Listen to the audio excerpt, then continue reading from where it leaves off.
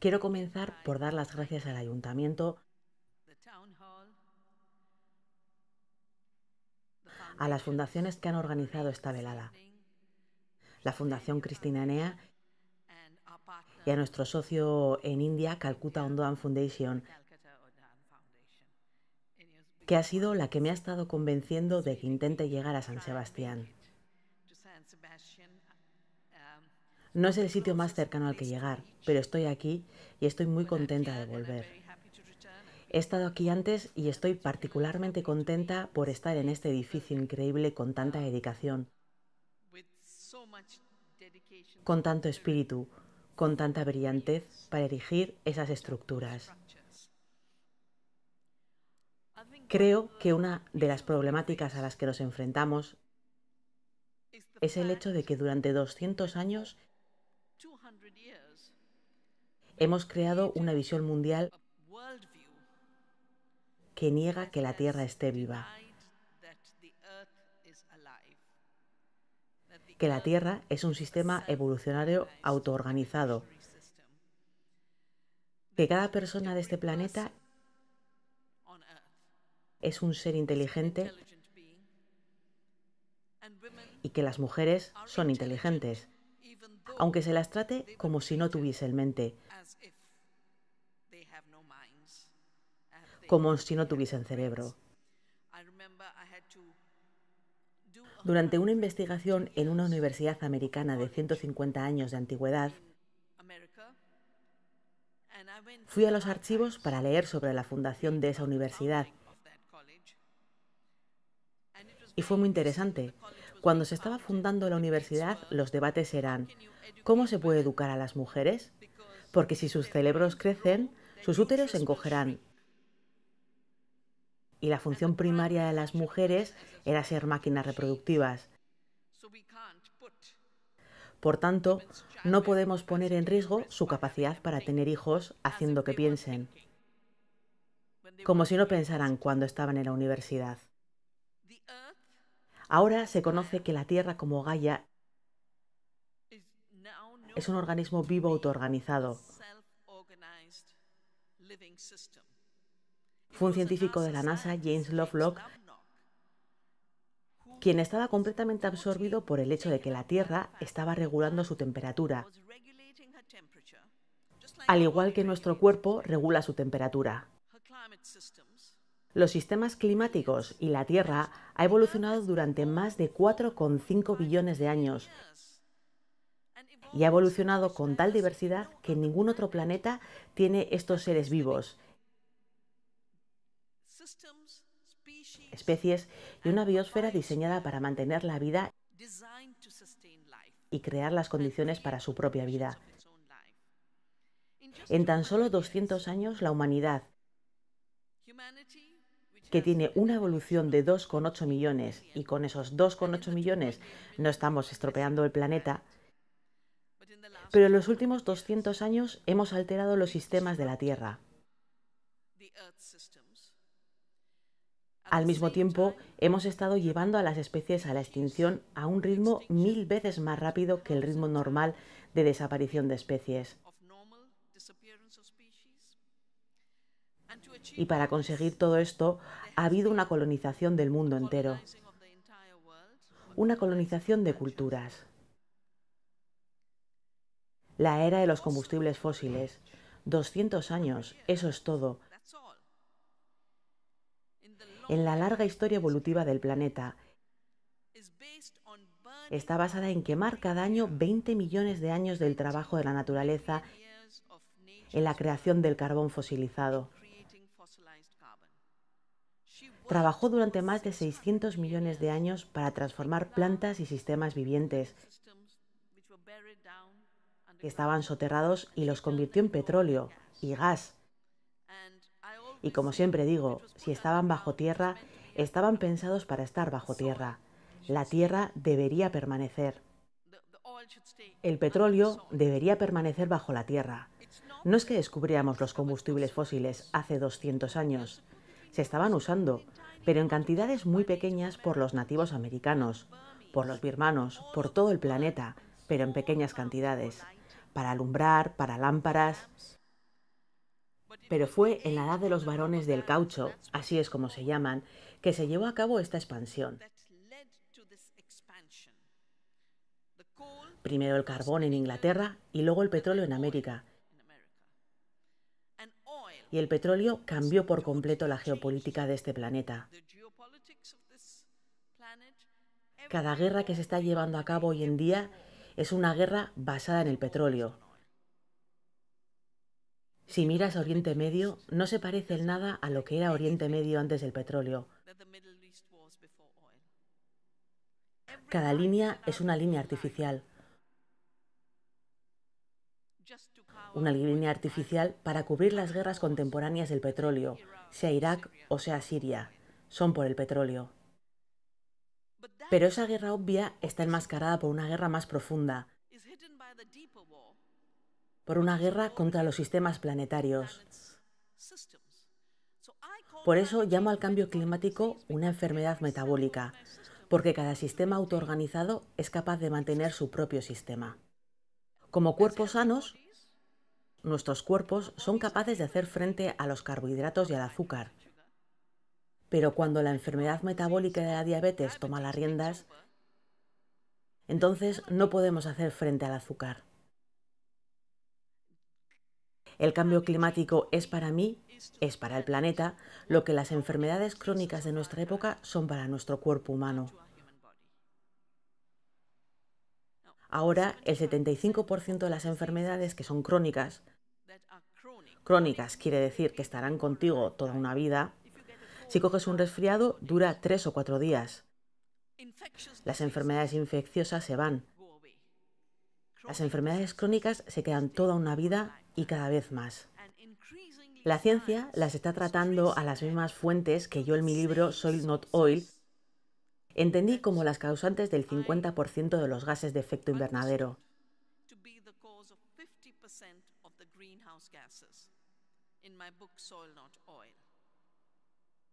Los tres principales gases de efecto invernadero, primero está el dióxido de carbono. Cuando quemas 20 millones de años al año, vas a tener un incremento en la concentración de carbono en la atmósfera, muy superior a la capacidad del planeta. Pero más importante aún, las mismas acciones que queman el carbono, el carbono fosilizado, también están destruyendo el carbono viviente en nuestros bosques. He viajado a Brasil. He viajado a Argentina, donde bosques enteros han sido destruidos. En el Amazonas, la soja genéticamente modificada de Monsanto, que se comercialice legalmente con un puerto creado sin permiso,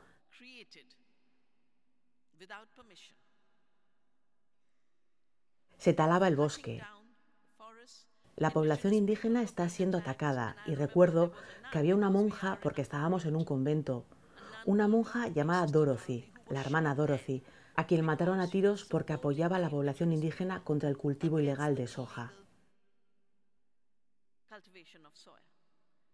Ahora, cada vez que se tala el bosque tropical, la capacidad de la Tierra para reabsorber el carbono, de alguna manera los pulmones de la Tierra, básicamente están siendo destruidos. Por lo tanto, están emitiendo más y destruyendo la capacidad que tiene el planeta para absorber. Cada vez que haces agricultura química, no estás solo destruyendo la capacidad que tienen las plantas y la tierra para reabsorber el dióxido de carbono. Estás destruyendo la capacidad que tiene el planeta de reabsorber el nitrógeno, porque ahora estás usando fertilizantes químicos y sintéticos, que son 300 veces más dañinos al sistema metabólico del clima. 300 veces más mortal. El metano es el tercer gas de efecto invernadero. También proviene de este sistema industrial de cultivos basado en los combustibles fósiles y en los productos químicos. Cada producto químico que se usa en la agricultura proviene de los combustibles fósiles. Los fertilizantes químicos, el fertilizante de nitrógeno, un kilogramo, utiliza dos litros de diésel y la energía utilizada durante la producción del fertilizante es equivalente a 191.000 millones de litros diésel en el año 2000. Y para cuando lleguemos al 2030, se espera que esa cifra se incremente hasta llegar a los 277.000 de litros. ¿Cuál es la tecnología que se utiliza para crear estos fertilizantes sintéticos? Las mismas fábricas que producían la munición y los explosivos para Alemania de Hitler. Las mismas fábricas y la misma tecnología de fijación atmosférica de nitrógeno a través de la quema de combustibles fósiles. Este nitrógeno está matando el aire con monóxido nitroso. Está matando a la tierra. Está matando al agua. Las zonas muertas de los océanos están creciendo. Solo tienes que mirar a los mapas de estas zonas muertas, porque todo este nitrógeno de más se está filtrando hacia los océanos y está matando la vida marina. Y no funciona de la manera que debería funcionar, incrementando la fertilidad de la tierra y mejorando la productividad agrícola. Hay estudios en nuestro país que revelan que en realidad hay un gran declive. En 1970, por ejemplo, por un kilo de fertilizante químico cultivábamos 13 kilos de grano. Ahora, por un kilo estamos produciendo 3 kilos. Esa pérdida de 10 kilos es porque la tierra ha muerto. Por lo tanto, básicamente los gases de efecto invernadero están dañando el aire. Pero la misma actividad de agricultura industrial está matando la tierra, desertificando la tierra, matando el agua. Estamos usando 10 veces más agua para cultivar la misma cantidad de comida.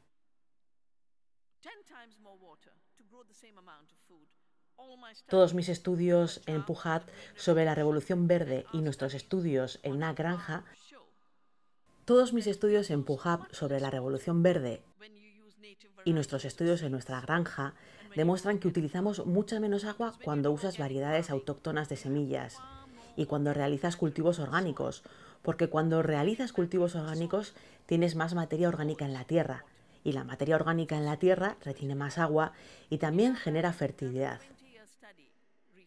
En nuestro valle hemos realizado un estudio durante 20 años, comparando granjas químicas con granjas orgánicas. El carbón orgánico ha incrementado un 99% en las granjas orgánicas. Ha disminuido un 14% en las granjas químicas. El nitrógeno en la tierra ha incrementado al 100% en las granjas orgánicas. Ha disminuido 22% en las granjas químicas, porque los organismos de la tierra que en realidad producen nitrógeno, las lombrices y otras bacterias, están muriendo a causa de los productos químicos. La diversidad en sí misma es la materia más eficiente de usar la energía del sol para crear la biosfera.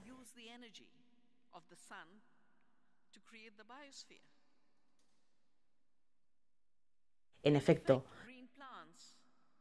las plantas verdes que fijan el carbono y convierten al dióxido de carbono en el nitrógeno que respiramos, mientras producen todo lo que necesitamos, toda la comida, toda la fibra, a través de este proceso milagroso de la fotosíntesis. Y la Tierra por sí misma evolucionó la diversidad. Su tendencia es incrementar la diversidad. Y nosotros como humanos, su tendencia es incrementar la diversidad y nosotros como humanos hemos incrementado la diversidad hasta el cártel químico. Los llamo el cártel del veneno, porque empezaron en las guerras de Hitler. El mismo grupo de personas que hoy en día controlan las semillas eran los mismos que producían los gases para los campos de concentración. Los gases nerviosos llamados ciclón B son los precursores de los pesticidas fueron un cártel a que enjuiciaron después de las guerras. Su nombre era IG Faben. Relacionados a este cártel alemán estaban todas las compañías americanas que ahora están en alimentación. Los Dows, los DuPonts, los Monsantos. En realidad, Monsanto tenía una compañía conjunta con Bayer que se llamaba Mobile. Acaban de fusionarse de nuevo. La Comisión Europea de Competencia ha dado su visto bueno a la fusión. Los americanos han dado su visto bueno a la fusión. La Comisión de Competencia de la India se niega absolutamente. Rechazaron la solicitud una vez. La segunda vez se mostraron muy duditativos. Dos días antes de la Asamblea General de Bayer, a la que van los accionistas, se coaccionó a la India para que aprobara la fusión. Así que ahora tienes un cártel del veneno de tres, quienes son los principales responsables del daño al clima. Y son principalmente responsables de la extinción de las especies. Si habéis estado siguiendo recientemente en Europa, el 75% de los insectos han muerto. 75% de las aves han muerto. Y cada estudio científico identifica la agricultura de combustibles fósiles industrial y química como la fuerza detrás de la extinción de las especies. La misma fuerza que nos da los gases de efecto invernadero. Hemos procreado para la diversidad. Y las mujeres eran las guardianas de las semillas hasta que este cártel se apoderó del control de las semillas. Empecé mi trabajo relacionado con la conservación de las semillas y empecé el movimiento Nabdanya después de 1987, cuando fui invitada a una reunión sobre las nuevas biotecnologías, sobre los organismos genéticamente modificados y las compañías que nos habían traído los venenos y que habían creado los gases de efecto invernadero, ahora decían, tenemos que fusionarnos y hacernos más grandes. Y la manera de hacerse más grande, aparte de disminuir un número e incrementar en poder, es patentar las semillas y vieron en los organismos genéticamente modificados, los GMO, una manera de hacer ver que habían sido creadores de vida. Por ello, siempre digo que GMO para Monsanto significa Good Move Over. Ahora vamos a hacer ver que somos los creadores. En ese momento empecé a trabajar con mi gobierno para asegurar que nuestras leyes no permitiesen obtener patentes sobre las semillas, porque no inventamos la vida. La vida se crea a sí misma. De eso tratan los organismos autoorganizados. Me alegra decir que a pesar de los continuos esfuerzos por parte de Monsanto para tumbar nuestras leyes, el pasado 7 de mayo en el Tribunal Supremo hemos tenido otra ronda victoriosa contra Monsanto quienes básicamente intentan cambiar las leyes, y el Tribunal Supremo les dijo, no, no aceptamos vuestro alegato para tumbar esa ley. No les escucharemos. No significa que cesarán los intentos de corromper por parte de Monsanto, pero tampoco lo harán nuestros esfuerzos y dedicación en la protección de la biodiversidad. Cuando empecé la conservación de semillas, simplemente protegíamos a las semillas de ser patentadas, genéticamente modificadas y protegíamos la capacidad de los granjeros para almacenar e intercambiar semillas, para que esas actividades no estuviesen criminalizadas por la ley de patentes. Aseguramos que su libertad para salvaguardar las semillas fuese defendida. En 1999 tuvimos un ciclón terrible en Odisha tres veces la velocidad, llegó a tres millas tierra adentro. La sal del agua del mar devastó la costa. Teníamos semillas tolerantes a la sal y pudimos rejuvenecer la agricultura. En 2004, puede que le suene el tsunami, el gobierno de Tamil Nadu dijo, no podemos tener agricultura durante los próximos cinco años hay demasiada sal en la tierra. Fui para realizar trabajos de rehabilitación y les dije, sí que podemos, porque tenemos semillas tolerantes a la sal. Así que llevamos dos camiones llenos de semillas tolerantes a la sal de los granjeros de Odisha a los granjeros de Tamil Nadu. Estas semillas resistentes al clima habían sido evolucionadas por los granjeros y los campesinos ahora se están intentando apropiar a través de lo que yo llamo biopiatería.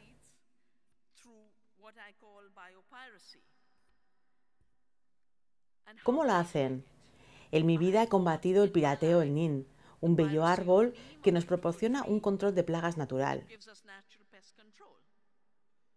Mi madre, mi abuela, ellas usaban las hojas del NIN para proteger nuestra seda y nuestra lana. En 1994, una patente fue registrada por parte del gobierno estadounidense. La desafiamos.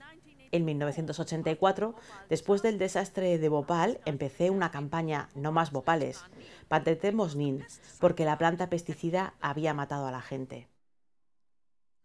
Diez años después nos encontramos que está patentada. Batallamos el caso durante 11 años y éramos tres mujeres. Yo estaba en India y no podíamos venir a Europa constantemente. La directora de los Verdes en el Parlamento Europeo y la directora de IFOAN, la Federación Internacional de Movimientos de Agricultura Orgánica, fuimos de la mano. No teníamos dinero.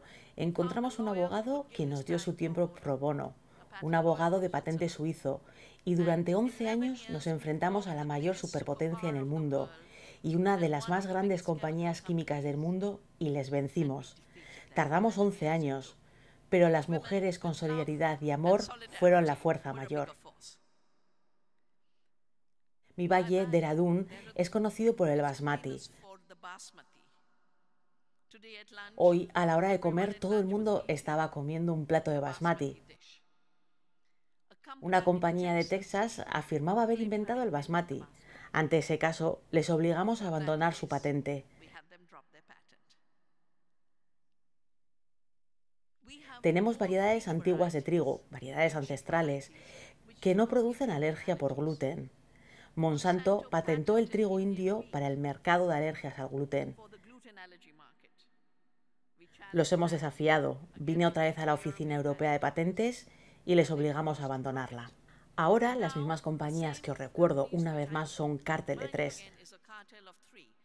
Bayer fusionándose con Monsanto, Dow fusionándose con DuPont y Singerta fusionándose con Chenchina, han patentado miles de patentes sobre semillas resistentes al clima.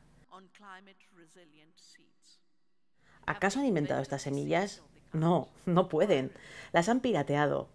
Tienen un programa de software llamado Atlete. Bueno, ellos realmente no. Es una compañía de Israel la que lo tiene y recoge todas las semillas resistentes a las sequías de maíz, por ejemplo, y las analiza. Y os debería leer esto porque es importante que sepáis lo que está pasando con nuestras semillas en estos tiempos de cambio climático.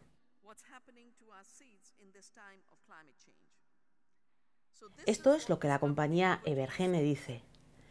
Tiene 8 millones de secuencias express y 400.000 grupos de propiedad genética en 30 especies de plantas. Usamos una gran cantidad de datos genómicos disponibles, datos públicos, conocimientos públicos de las variedades que los granjeros han criado para ser resistentes a las sequías, a la sal, a las inundaciones. Usamos una gran cantidad de datos genómicos disponibles, mayoritariamente públicos, para llegar rápidamente a una lista limitada y fiable de genes clave con una alta relevancia a los rasgos elegidos. Alegóricamente, la plataforma Atlete podría ser vista como una máquina que es capaz de elegir de 50 a 100 boletos de lotería de entre cientos con una probabilidad muy alta de que el boleto ganador esté dentro de dicha selección. Esto no es criar. Esto no es conocimiento. Esto es apostar a un monopolio sobre la misma fuente de la vida. La semilla y la única manera de acabar con esto es continuar la lucha que empezamos desde Nabdanya. No a las patentes de semilla, no a las patentes de la vida.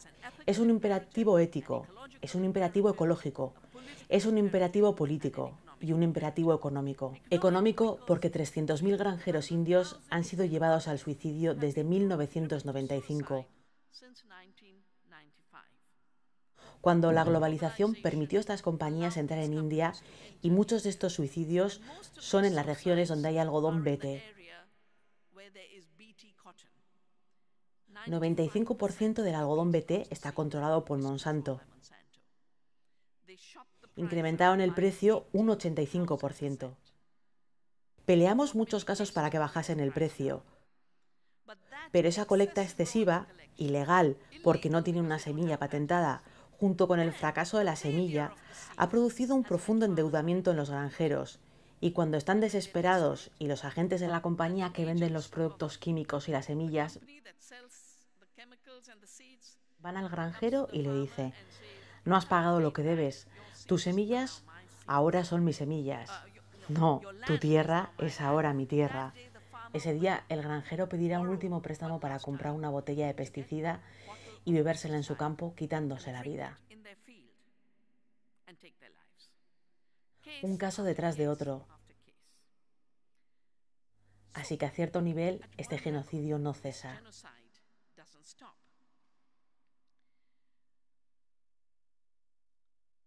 Las mismas fuerzas que están envenenando al planeta, creando los gases de efecto invernadero, están también envenenando nuestros cuerpos.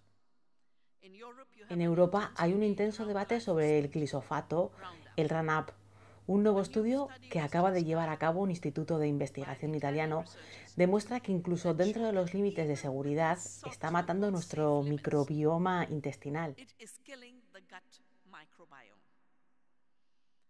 Esto es para mí la alerta máxima para que la humanidad se dé cuenta de que no estamos al margen del resto de la vida. No estamos al margen de la naturaleza, de que somos parte de la naturaleza y de que somos parte de una red viviente de la vida, porque en cada uno de nosotros solo hay un 10% de células humanas. 90% son microbios y bacterias. Bacterias beneficiosas que mantienen nuestras vidas. 100 trillones de ellas que viven en nuestro intestino. Es por eso que se está denominando al intestino el microbioma intestinal. Los mismos procesos del cambio climático son los procesos que dañan nuestra salud. Todas las enfermedades crónicas que se trazan al año sobre el microbioma intestinal, ya sean pandemias neurológicas o que la gente tenga autismo, en América, uno de cada 35 niños padece autismo.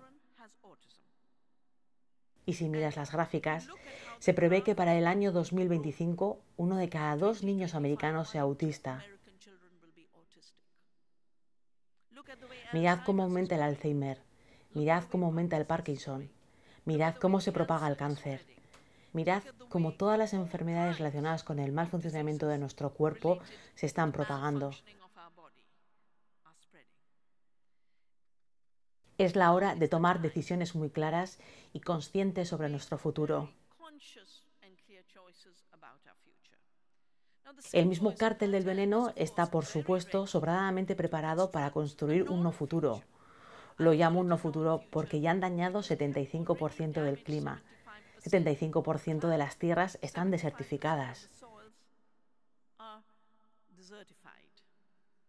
erosionadas.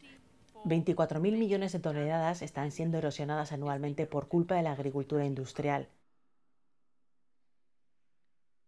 Y a la medida que la tierra se desertifica, ya no puedes cultivar.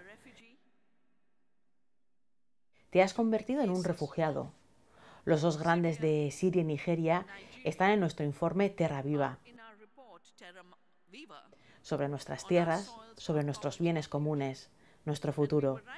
Y lo estamos redactando cuando esos barcos cruzaban el Mediterráneo y se hundían. Y queríamos comprender por qué la gente escapaba de sus hogares. Resulta que en 2009 hubo una sequía terrible en Siria. Debido a la revolución verde se había minado el agua de Siria. Las tierras se habían dañado y con una sequía extrema relacionada con el cambio climático, un millón de agricultores sirios se convirtieron en refugiados y se trasladaron a la ciudad.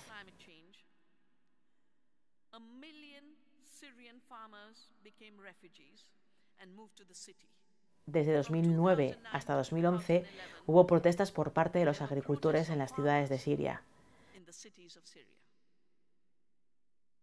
En 2011, aquellos que estaban implicados en la guerra vieron que esto era una gran oportunidad y podéis ver el desastre que tenemos.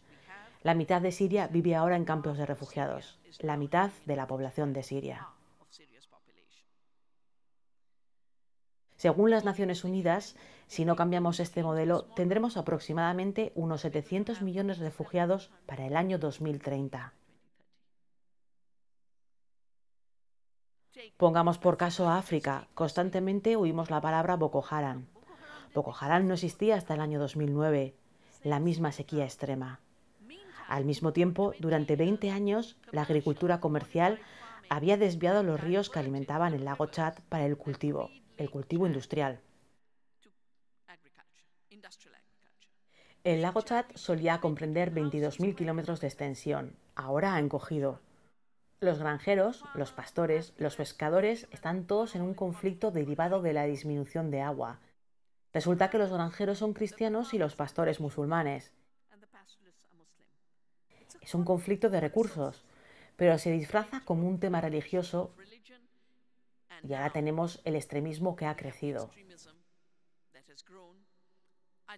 Instruyo en nuestra Escuela Nacional de Defensa y el año que estuve dándoles una charla sobre el cambio climático había un brigada de Nigeria. Se levantó y dijo, tienes toda la razón sobre la raíz ecológica de los conflictos en Nigeria. No habrá cantidad de acción militar que pueda resolver este problema. Solo la renovación ecológica lo podrá resolver. Solo la renovación ecológica reducirá el conflicto. 45% de los conflictos hoy en día están relacionados con la destrucción de la tierra y, como dije, el petróleo. Si nos alejamos de la agricultura basada en combustibles fósiles y la dependencia del petróleo, creamos más oportunidades para la paz. ¿Qué planean los fabricantes del veneno? Los fabricantes del veneno derivado de los combustibles fósiles. ¿Qué planean ahora mismo? Monsanto hace dos o tres años compró la empresa de información climática más grande del mundo. Por tanto, quieren controlar los datos sobre el clima y vendérselos a los agricultores como producto. Compraron la empresa de información sobre la Tierra más grande del mundo. Tienen acuerdos con las industrias de la maquinaria para introducir Spyware y no estoy diciendo nada que no haya podido encontrar en la página web de Monsanto. Introducen Spyware en los tractores. El susodicho Spyware recoge datos sobre la Tierra, pero no puede recoger datos sobre los hongos micorriza y las bacterias. Recoge datos sobre el nitrógeno, el fósforo y el potasio y envía esas señales de vuelta a San Luis. Monsanto lo empaqueta a través de lo que ellos llaman Big Data y Digital Farming y se lo vende a los agricultores como un producto. Así que podéis ver el auge de la mercantilización de los datos de la tierra. Ahora definen el Big Data como el nuevo petróleo. Si hemos tenido problemas con el último petróleo, el combustible fósil, ya estamos teniendo grandes problemas con el Big Data. Podéis ver lo que hizo Facebook vender los datos a Cambridge Analytics, quienes luego manipularon elecciones. Y de la misma manera que el petróleo requiere de la extracción, los cultivos orgánicos requieren de evolución. Esa es la gran diferencia. Uno está basado en las leyes de evolución y el otro está basado en las leyes de extracción. De ese modo, los datos extraídos por Facebook, que luego fueron analizados con algoritmos y procesamiento del Big Data por Cambridge Analytics, forman parte de un proceso de extracción, la extracción de nuestra mente, es la extracción de nuestras relaciones y amistades, es la extracción de mensajes de odio. Igual que la agricultura ecológica devolvemos a la tierra, en las relaciones que construyen comunidades nos devolvemos los unos a los otros. Relaciones de amor y solidaridad son mutuas, basadas en el acto de dar. Las relaciones del odio son las que se pueden mercantilizar. Por eso, si miras con lo que pasó con Cambridge Analytics, analizaron datos de los mensajes de Facebook que fueron extraídos de la circulación de las comunidades sociales y enfocaron cuatro tipologías de odio.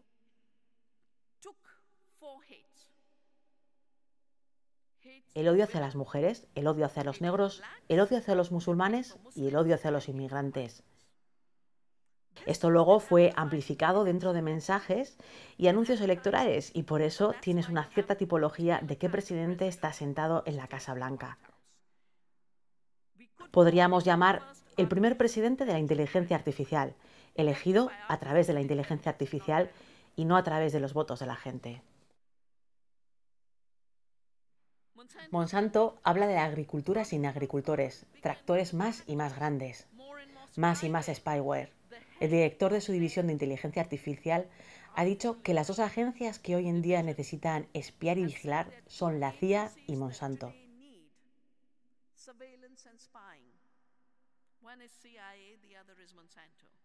Monsanto es ahora una empresa europea llamada Bayer. Los ciudadanos y movimientos europeos tienen ahora una nueva responsabilidad en cuanto a lidiar con el cártel del veneno. La manera más importante en la que podemos lidiar con ellos es exactamente lo que dije al principio. Desde abajo hacia arriba. Crear comunidades justas y ecológicamente sostenibles.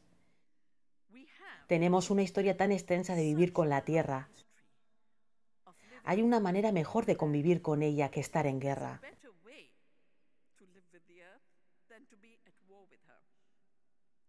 No necesitamos monoculturas y pensamiento militar. No necesitamos monopolios porque podemos co-crear con la diversidad.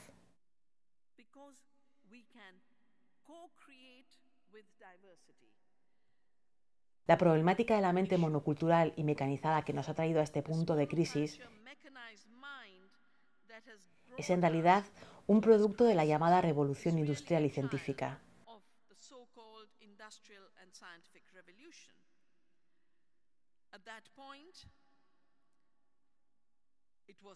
En ese punto se decía que la naturaleza estaba muerta. La naturaleza solo existe para ser explotada. Se decía que no se podía hacer otra cosa que no fuera violarla y poder controlarla.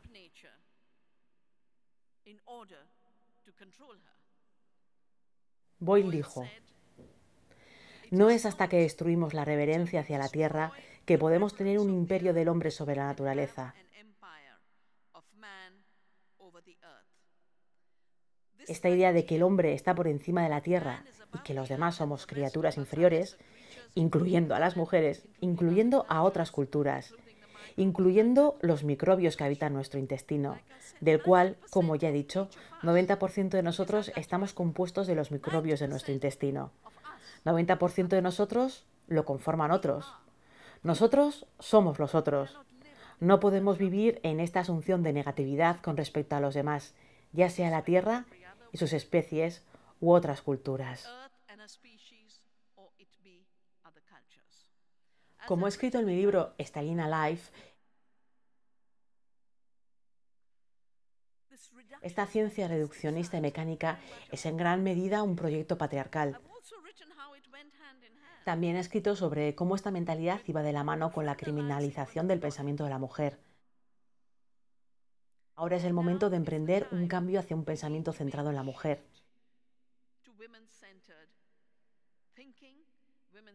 Economías centradas en la mujer. La habilidad que tiene la mujer de poder co-crear y coproducir con la naturaleza. Estas son unas increíbles fuentes que reconocen la inteligencia prevalente, estas son ahora las que denominan al intestino nuestro segundo cerebro, ya que hay más actividad neurológica en nuestro intestino de la que hay en la que llamamos el cerebro antiguo. Incluso este cerebro funciona gracias a nuestro intestino, porque si las bacterias que están en nuestro intestino dejan de producir enzimas a través de una buena alimentación y la biodiversidad, se mueren debido al ataque de los productos químicos. Lo que tenemos es el cese de producción de neurotransmisores y por eso están aumentando los problemas neurológicos. Por tanto, si el intestino es nuestro segundo cerebro, en la Tierra hay organismos enormemente inteligentes. Nuevos estudios sobre los hongos micorriza están demostrando que hay una red mundial bajo la Tierra que tiene mucho más volumen de comunicación que todo lo que hay en Internet. En la raíz de una sola planta hay 680.000 millas de radículas. Cada una de ellas interactuando de forma inteligente. Debido a nuestro trabajo con la Tierra, nos vinieron a visitar a Nadanya algunos científicos holandeses. Volvieron, hicieron sus propios estudios y cuando estuve en Holanda para una reunión, me llamaron para que viera los resultados que habían obtenido. Hasta entonces no habían pensado en la Tierra y la semilla como conjunto. Así que germinaron una semilla de trigo y pusieron esa semilla germinada en tres tipos de tierra. Tierra orgánica, tierra química y tierra Roundup. En la tierra orgánica las raíces se desplegaron muy inteligentemente.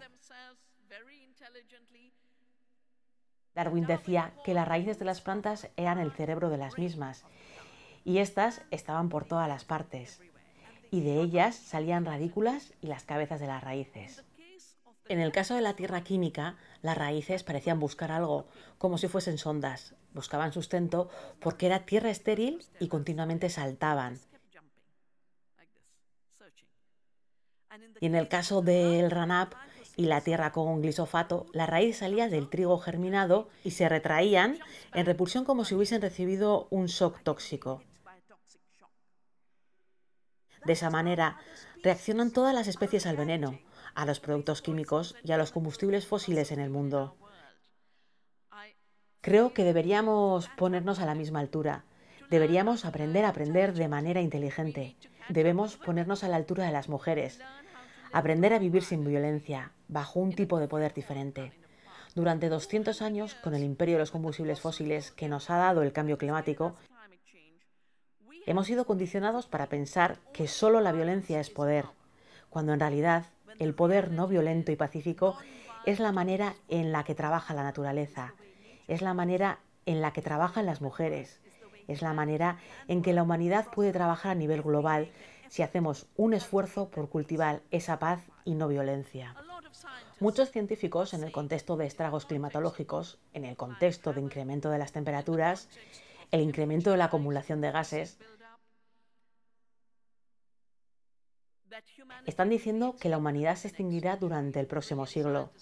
Incluso el brillante científico Stephen Hawking lo dijo, que dentro del próximo siglo nos habremos extinguido. O eso, o podemos escapar hacia otro planeta. El problema es que no hay ningún otro planeta viviente. Solo este planeta es un planeta viviente. Se están gastando enormes cantidades de dinero para encontrar agua en Marte. El señor Elon Musk, quien fabrica coches, está financiando su programa espacial Quiere enviar seres humanos a Marte, pero dice que el billete costará mil millones de dólares y que solo un millón de humanos podrán volar.